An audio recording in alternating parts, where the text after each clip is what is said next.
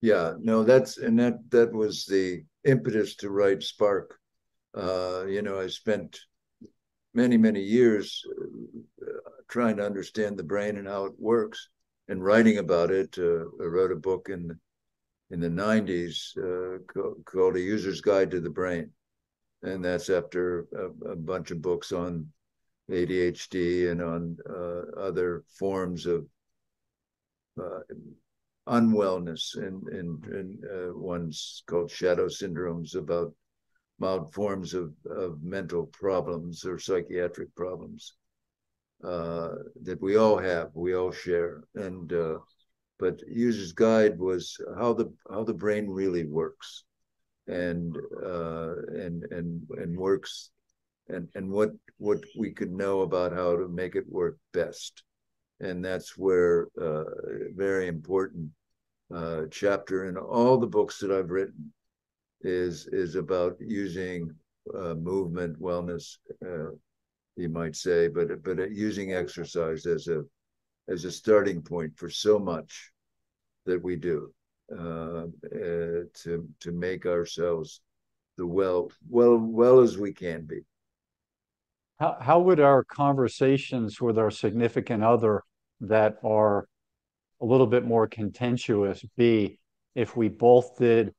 a physical movement program, went on a hike, did an exercise program, or went on a horseback ride before we had that pivotal conversation, which if we just sat in our house and stared at each other, could be a, little bit more of a violent communication pattern than um, than otherwise. Yeah, well, no, you, you know, when you do move, you you change the the whole chemistry and electrical issues in your brain. Everything's different when you move and after you move,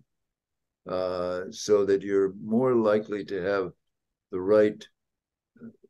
neurochemistry to to uh, uh, address a contentious issue, um, so that you're and, and, we see this in the schools and, and using broad brush, right? If if we have the kids exercise in the morning uh, when they come into school for even 30 minutes pretty good exercise moving around intense fun captivating. We see a, a big drop in uh,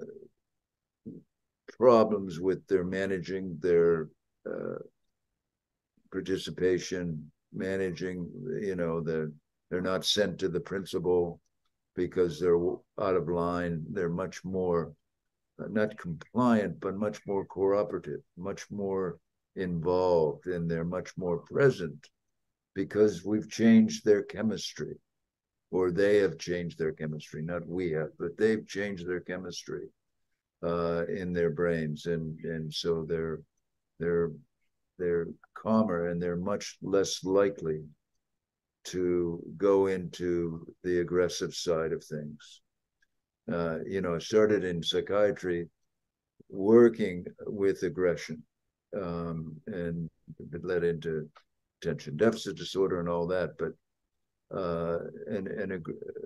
you know, you can manage aggression with, with medicine, with, with uh, meditation,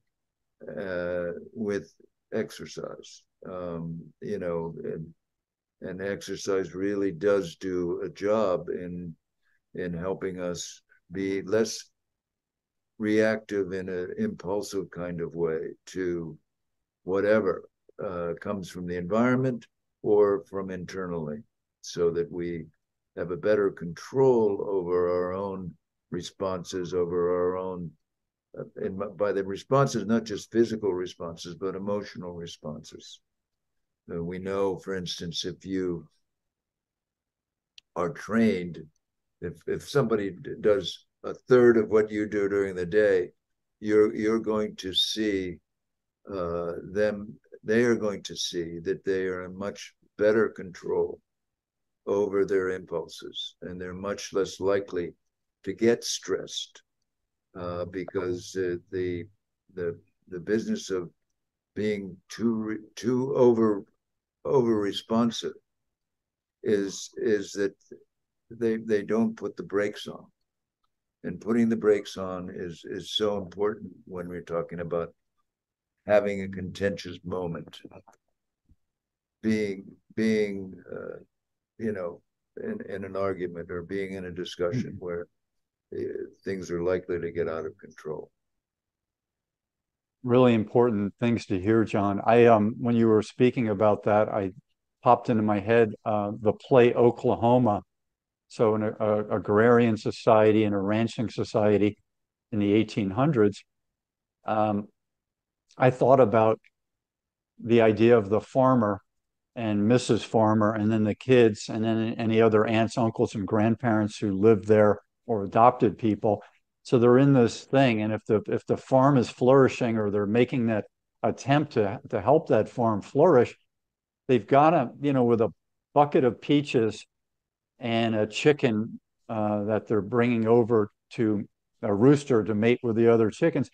doing this physical work and seeing the the bounty that this is going to provide and then the teamwork and the esprit de corps and then the beautiful part of the fields and the trees etc you you you i can't imagine when that's